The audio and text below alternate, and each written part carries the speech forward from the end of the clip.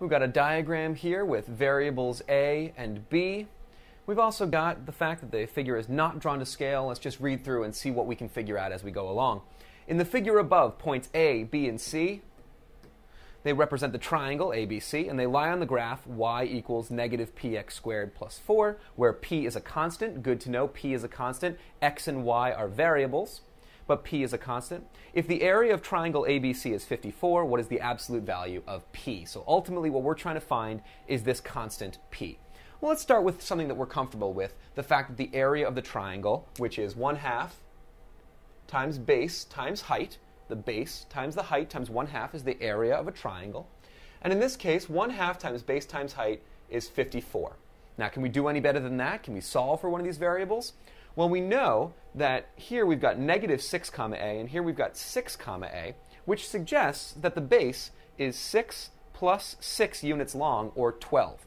So instead of 1 half times base times height, I can say that this is 1 half times 12 times height. So now I know that the area of the triangle is 6h, which equals 54, and that h equals 9. All right, getting more information. I now know that the vertical distance of the, uh, of the triangle is 9. The height of the triangle is 9. Okay. Can I do any better than that? Well, I can actually solve for this variable b if I'm very careful.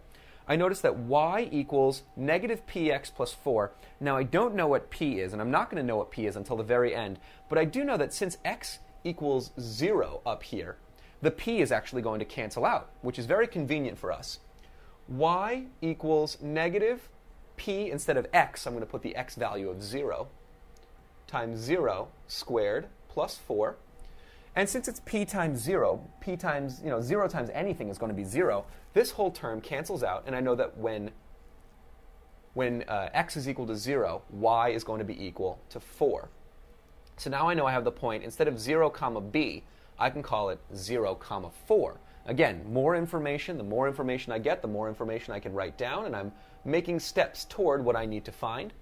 So now I know that the height of this triangle is 9, and I know that up here, the y coordinate is 4.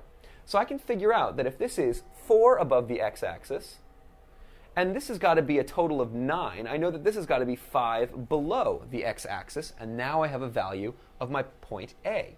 So instead of negative 6a, I call it negative 6, negative 5. And instead of here, I can call this 6, comma, negative 5. So now I've got all sorts of information. I know how large the triangle is in all these different dimensions. I know what B is. I know what A is. And now that I've got this point where neither of the terms is 0, I can plug it back into my original equation, y equals negative px plus 4. So my x coordinate is 6, my y coordinate is negative 5. Let me plug that in here and see what I end up with.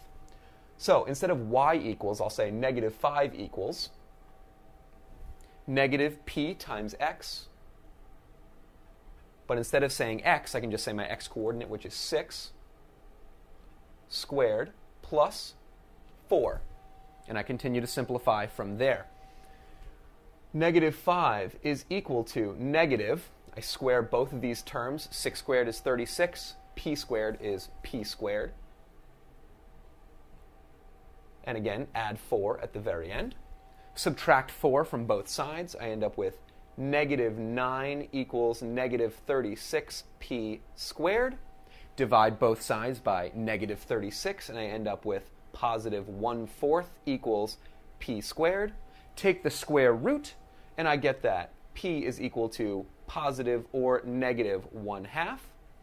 And since I'm asked for the absolute value of p, I'm not asked for the value of p, I'm asked for the absolute value, I know that it's going to have to be positive. So p equals 1 half, or if you're writing on your grid in, you could write it as 0.5.